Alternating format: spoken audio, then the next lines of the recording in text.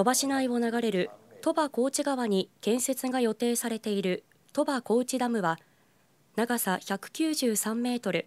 高さが39メートル。流水型ダムと呼ばれる洪水調節専用のダムで普段は水をためず大雨などが降った際にのみ一時的に水をため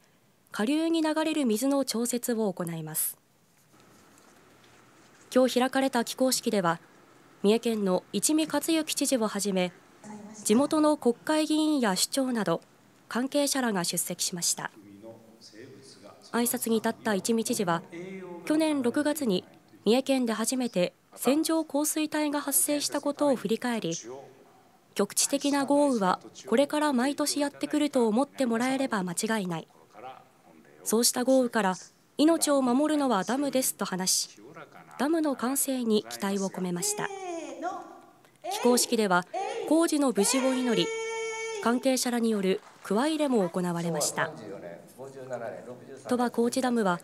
去年10月から準備工事が始まっていて2028年に完成する予定です。